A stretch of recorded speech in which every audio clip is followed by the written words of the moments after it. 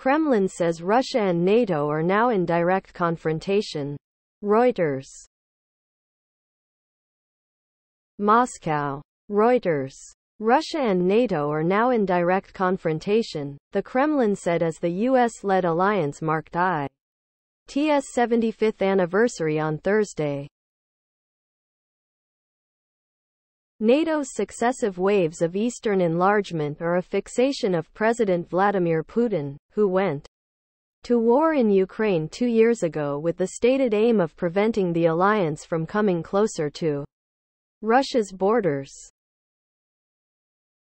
Below are your comments.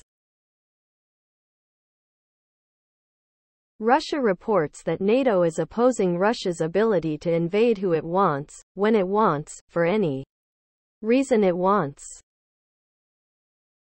Russian is now angry at NATO. Ah yes how dare we not leave Ukraine out to dry like Poland was in 1939.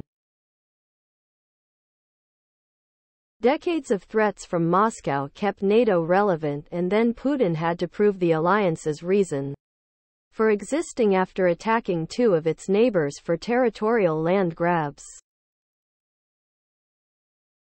As for NATO's expansion, the Warsaw Pact was a shish.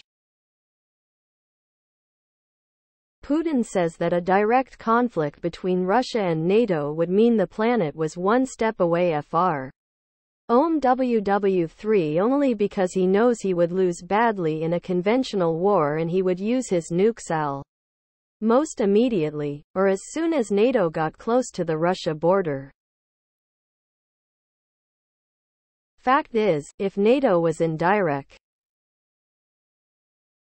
please subscribe to my channel. And if you like it, please thumbs up.